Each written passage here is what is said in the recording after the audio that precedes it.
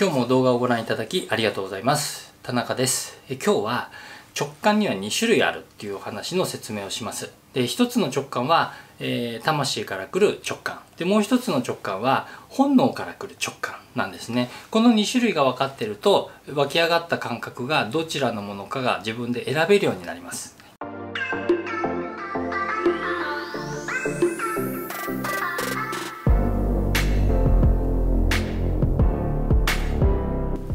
でこの話を理解するためにはまず肉体と魂の関係が分かってないとうまく理解できないと思うので簡単にはしょって説明しますとこの肉体の体っていうのは地球のものなんですね。でこの肉体に本当の僕魂の僕が魂だった記憶を全部なくして入り込んで人さも人間ですみたいな体で、えー、人間の生活を体験してるわけです。辛いことや嬉しいこと全部ひっくるめて。でそれが目的なんですね。でいかにして自分が自分らしく生きられるかっていうのを今ここに来て期間限定で、えー、プレイしてるわけですけどもこうなってくるとどうなるかっていうと肉体の田中君のその思考あの自分の魂の田中君の考え方なんかと波動がこう入り混じってこの中でこう混在してるわけですね。魂の田中君は人間の体験をするためにいろんなことを挑戦し自分のやりたいことをやりに来てるだけなんだけど肉体の田中君はもともと地球のものでで彼の目的は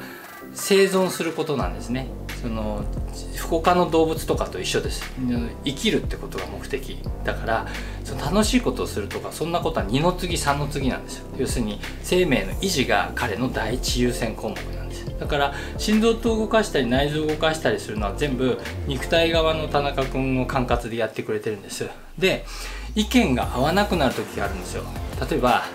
魂の田中君はあれがしたいと思っても肉体側の田中君は基本的にはネガティブです。で何にもしたくないです。できることなら一日中くっちゃねして過ごしたいんです。なんでかっていうと動物って生きる確率が高いことをしたいわけで昨日と同じことをしてれば今日も生きられますよねっていうことなんです。新しい食べ物を見つけてあ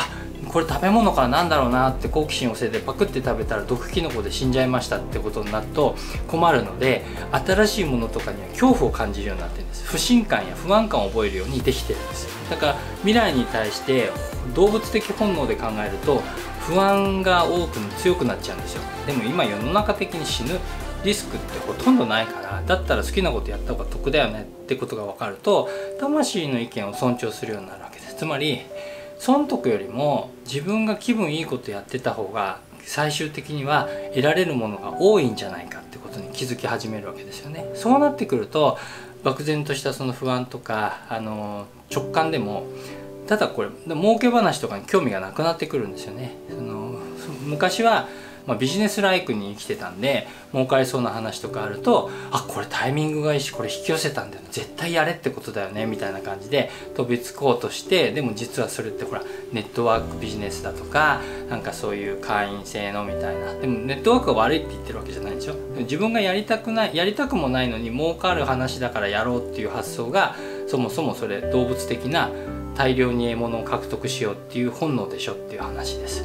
だからその自分が好きなことやるっていうのが才能だしその魂の一番の理想の目的成功しようがしまいがそれは2の次3の次なんですよ。やってみたいってことが先なので。だこういうのは本当の魂からのインスピレーション。でそれに対してなんとなく不安でやめとけとかあの不安だったり恐怖を感じたりとかっていうのは全部本能から来る防衛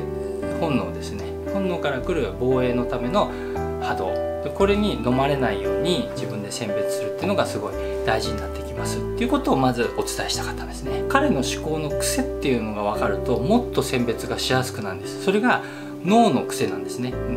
脳の肉体じゃないですか。で魂っていうのはエネルギー的なものなのであの動物としての本能がどういうものかっていうのが分かってると湧き上がる感情のあこれは違うなって魂の